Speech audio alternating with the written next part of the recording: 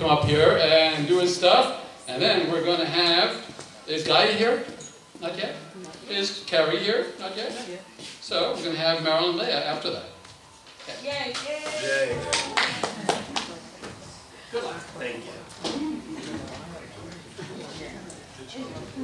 Yes, ma'am. So I was sitting around one day and uh, I noticed that uh, a lot of words we use for our sweethearts are related to food, like my sweetie, my honey.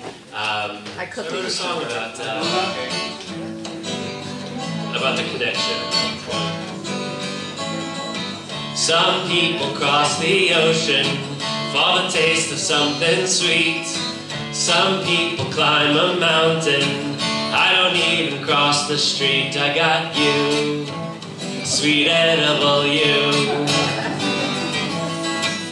Some people spend a lifetime in search of the perfect dish. I know Mikey will eat anything. All I know is I got my wish. I got you, sweet edible you.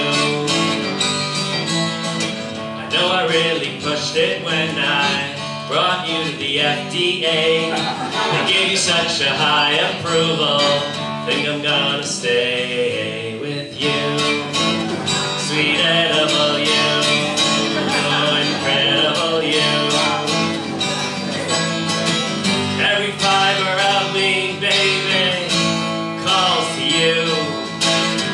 You're my main dish garnish, baby, you're my tofu.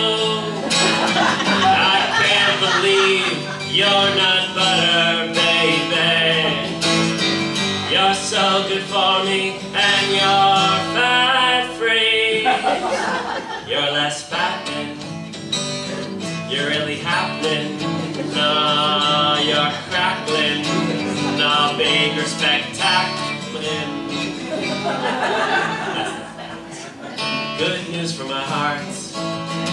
Whole grain oats for a start. A good nutritious breakfast part is you. Sweet edible you. Incredible you. Darling, it's you. You're my main course, it's you. With a salad, it's you. I